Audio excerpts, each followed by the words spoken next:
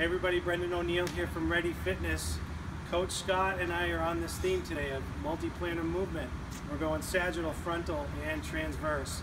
Um, so to do some rotational stuff, we decided to use a med ball. It's a simple tool to use. Um, you could throw off a wall, or today we're going to demonstrate doing this in a partner type drill. You don't need a heavy weight for this. Again, we want perfect mechanics every time. And this is a 10 pound ball, so probably the heaviest end that you're gonna use, especially if you're using young athletes, okay? So coach is gonna grab the ball, he's gonna load up.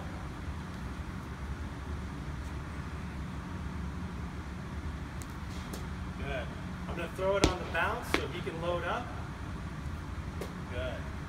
And notice from the foot to the hip, to the shoulder, to the hand. Good.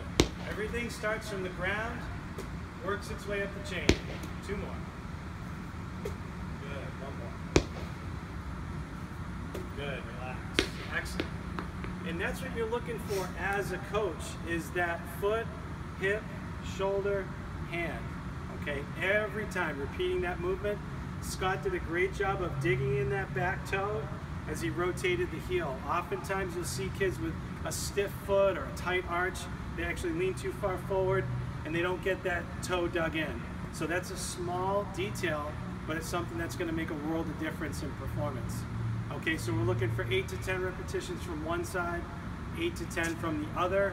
Oftentimes with athletes, we'll have them start on their dominant side first so they can groove the pattern, so they have good form.